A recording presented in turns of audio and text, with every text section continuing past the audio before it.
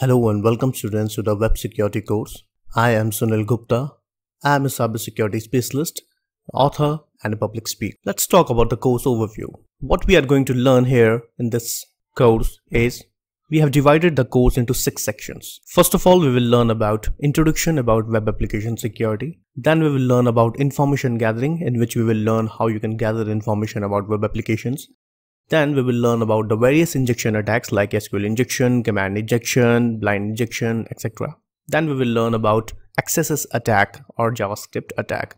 Later we will cover the CSRF attack, cross-site request forgery attack and logic flaws. And then finally, I will show you that how you can avoid and detect some other vulnerabilities. What are the course goals?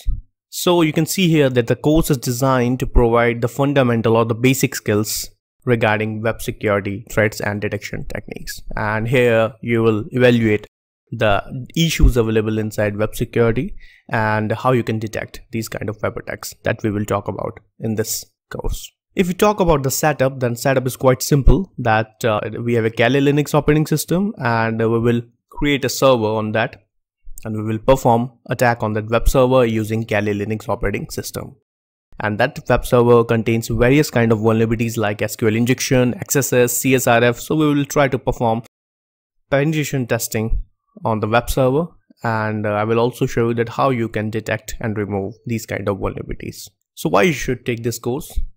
Because here you will not only learn about that how you can find out the vulnerabilities in the website and how you can detect it. You will also learn about various kind of Kali Linux tools and techniques. And here you will learn about the web penetration testing and how you can secure your website. So this is all about the web security course.